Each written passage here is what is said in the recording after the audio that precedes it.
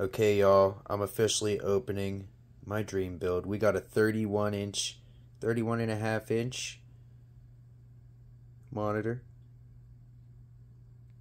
And we got the CyberPower PC. This thing is a hell of a PC. Specs. I mean, for uh, the price that I paid, I, I paid 900 bucks for this and that monitor together. I mean, that's just incredible. It was like six something for this computer. One terabyte. It just has everything that you could possibly need. Intel i5. Absolutely amazing. This is what we're rocking with right off the bat. I'm gonna get it out of the package. Fresh out the box. Ain't none better than that. Big too. Ah oh, man, is that nice. Can't beat that, y'all.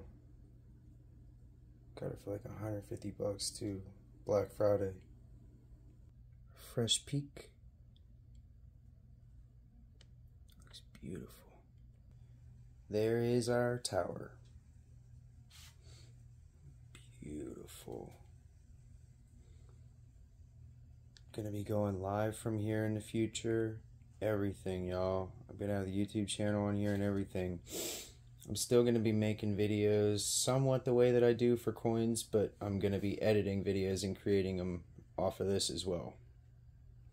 We have a do not connect monitor here. See below. connect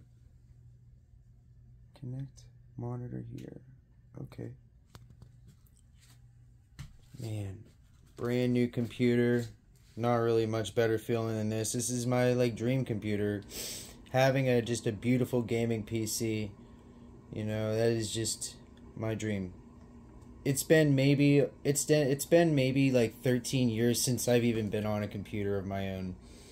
We used to have one at the house and I used to do all kinds of things on it, get music and everything. It was really fun. But now I officially have, you know, one of my own, and this is going to perform way better than anything that I've ever had before. Can't wait, you guys. Really hope everybody has a great rest of their day, and anybody who uh, joined me for this, I'm really, really happy to have you here. Really happy to have you here. We got USBs, and there's probably some on the back too. Yep. Got three on the back plus HDMIs. Those are probably all HDMI, honestly. Maybe one. Mm. Love it. Lots of hard work. Lots of saving up. But honestly, it's worth it. Now I can teach myself and all kinds of things. And uh, I can have fun too. I really like you know, surfing the web and playing video games and everything, and that's just something that you can't necessarily do on an iPhone. So I really hope everybody has a great one, and uh, I'll see you on the next one.